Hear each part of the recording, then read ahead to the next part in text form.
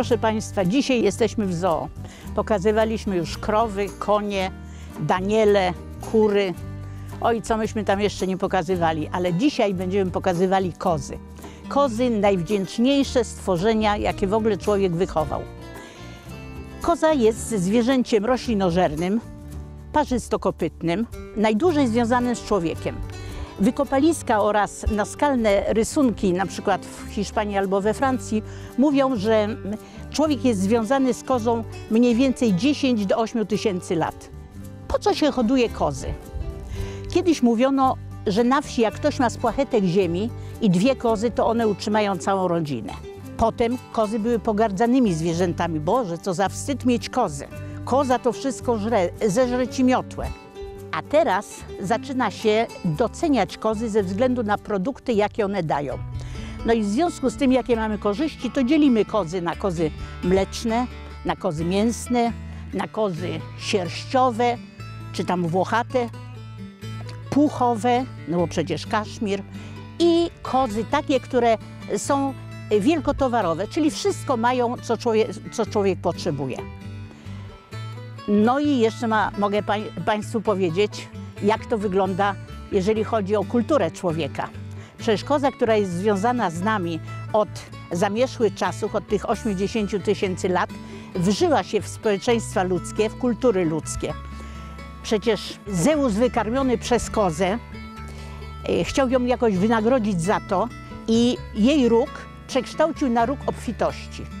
My mamy też swojego koziołka Matołka, Kornela Makuszyńskiego. Ja byłam wychowana na filmach, kreskówkach, czyli obrazkowych filmach, które oglądałam z zapartym tchem. A ponieważ jesteśmy w gospodarstwie w Cewlinie, czyli niedaleko Koszalina, i dwie panie są kompletnie zajęte kozami, więc y, chciałabym poprosić te panie, żeby coś nam tak praktycznie o kozach powiedziały. Dlaczego się zajęły kozami, co produkują kozy, dlaczego należy jeść produkty kozie. No i dlatego oddam teraz mikrofon.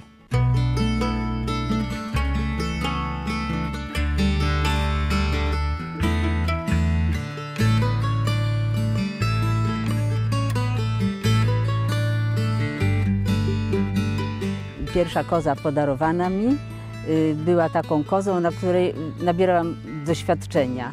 Ale naprawdę zabraliśmy się za to z mężem 25 lat temu, kiedy y, po tych pierwszych doświadczeniach stwierdziliśmy, że to może mieć jakiś sens y, hodowanie kóz, pozyskiwanie mleka i robienie z tego mleka, no jeszcze nie wiedzieliśmy czego, ale to z czasem przyszło.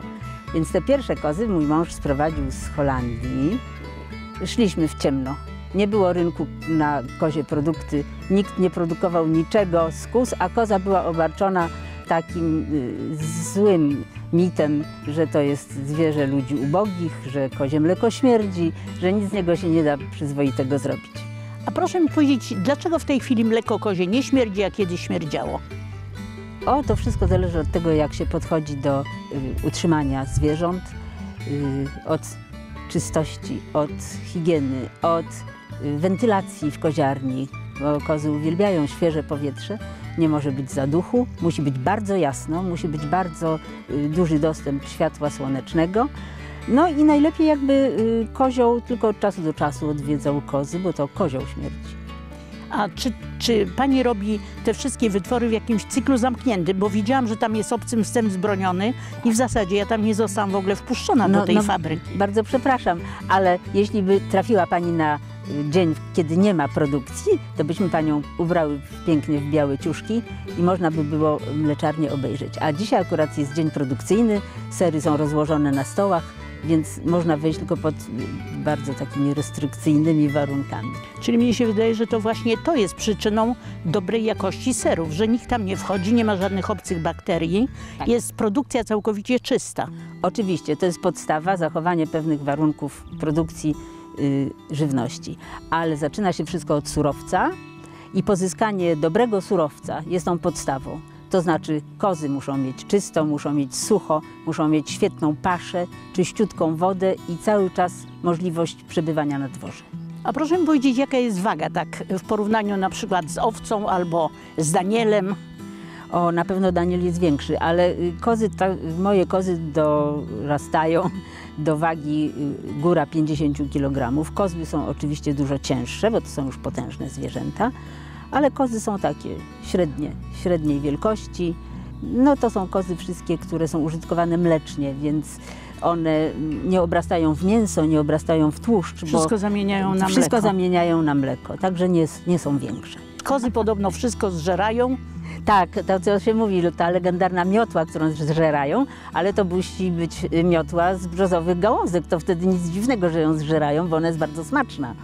A y, lubią próbować nowości. Jak wypuszcza się je w nowy teren, to one trawą się nie zajmują, tylko zajmują się krzaczkami, drzewkami, gałązkami. No, y, y, jak się zdarzy jakiś kwiatek hodowlany, to bardzo chętnie go zjedzą. Czyli Ym, czyszczą sobie najpierw teren. nie, nie tak jak owce. Owca bardzo systematycznie je na pastwisku, Tak. a koza cały czas biega i wyszukuje sobie najlepsze kąski.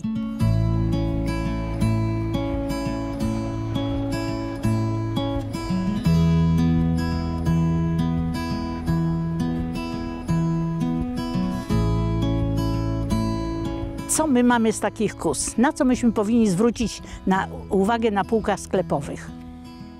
Wszystko, co pochodzi od kozy, jest bardziej wskazane dla człowieka niż to, co pochodzi od krowy. No właśnie, dlaczego? Bo mleko krowie jest tak zbudowane, że jest bardzo niesprzyjające człowiekowi, ciężko strawne, źle przyswajalne.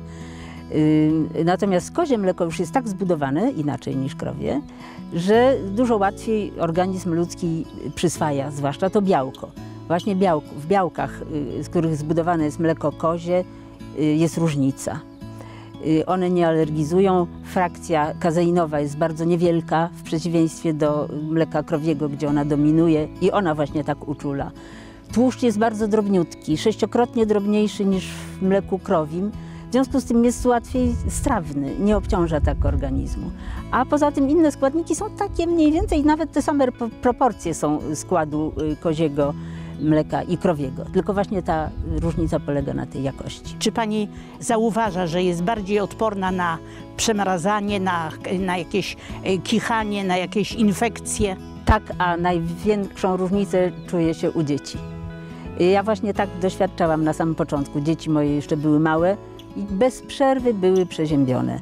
A jak zaczęły pić kozie mleko, nie wiedziałam jeszcze, że to jest ten powód, to nagle się okazało, że przez dwa lata nie były u lekarza.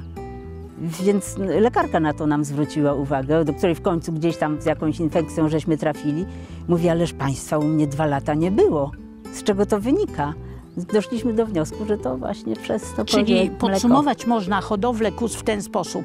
Sami może tego nie jedzmy, ale przynajmniej karmmy produktami kozimi dzieci. Tak, karmmy dzieci, dorosłych, staruszków, osoby silne i osoby słabe, bo to jest bardzo, bardzo smaczne. A powie nam pani, co pani trzyma w ręku? Tak, już co mówię. panie produkujecie? To jest serek y, nasz y, świeży, y, to znaczy to jest taki serek robiony bez żadnych dodatków, y, naturalny. Samemu można dodać coś. Można dodać i słono, i słodko na różne sposoby. Polecam z miodem, polecam z drzemami, bardzo smaczne. Oczywiście z rzodkiewką, szczypiorkiem i tak dalej. Yy, I to jest yy, jedna z odmian naszego serka, ponieważ produkujemy jeszcze takie serki yy, smakowe z czosnkiem, Pyszności z z mieloną kozieradką i z ziołami prowansalskimi. I wszystkie te składniki usiłujemy produkować w naszym gospodarstwie. Aha, czyli naprawdę ekologicznie. Tak, bo to jest gospodarstwo ekologiczne i jeszcze na dokładkę biodynamiczne. Mamy certyfikaty ekologiczny i certyfikat biodynamicznego rolnictwa, kefir kozi, bo jak produkuje się serek, to zawsze czas od serka coś odejdzie. Odejdzie serwatka z bardzo Tak. cennymi białkami i z wapniem i w ogóle z cennymi rzeczami. Serwatkę też wypadałoby też popijać. Natomiast w kefirze jest wszystko jest dużo łatwiej przyswajalny niż na przykład słodkie mleko. tak, dlatego, bo że bakterie go trochę przerabiają. tak, laktoza jest przerobiona, nie obciąża tak ludzi, którzy laktozy nie trawią i w ogóle no jak to zawsze skwaszone rzeczy są łatwiej przyswajalne, łatwiej strawne. Koza to jest przyszłość, jeżeli się chce dbać o zdrowie. Ja miałam kozy przez wiele lat, podobnie jak owce. Potrafię porównać to i potrafię docenić e, smak i smak, zapach i skutki tego zdrowego jedzenia.